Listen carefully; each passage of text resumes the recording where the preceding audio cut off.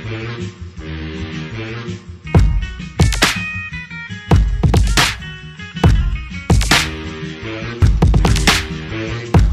out this bitch like I'm getting off a movie set. Really so scripted, like producing psychedelics over the set.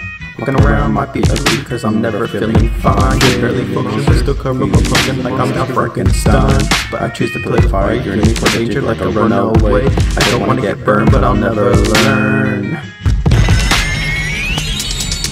Like I'm fighting a breakdown in the shower in this purgatory. Feeling like I fight demons when I work American Horror Story. After a follow with me, you'll need a lot of therapy. Trying to clear your history. When I look back, it feels like third degree burns on my skin with broken arteries. Still have a list of people who owe apologies. How to come to grips with reality that this dark energy is just a part of me. Damn.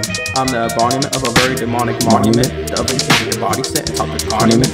For a quicker abolishment, store your earlobes where next yours ornament. You call yourself crazy, but compared to me, you're just ornament. Vinnie Munster. Vinnie Munster. Ooh, wee. If you're coming in new, my suggestion to you is to stay the fuck back. Ain't got time for any more flicks and fakes and crazy two-faced snakes. To lie in hopes to make me stay cool is like petting a pepper who's about to attack. It's why I show up to work baked like a cake because in my daily my mental health is at stake. Keeping my cool is something I lack and been blowing off these dark entities that try to attack.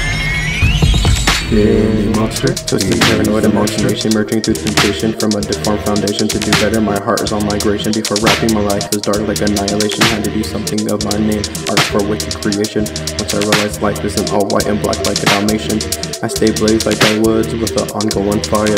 Wish I was this way back in high school, raging tiger. I get lost in my head like misguided desire. Busted to the doors of a mortuary, have a lot to say before I'm buried. Not trying to one up on ya, just reminding I'm right by ya. Patterns in everyday life correctly predict your moves like a Maya. Crazy check the sight of me, everyone running away, don't want to have their life end in under the hands of a Benoit.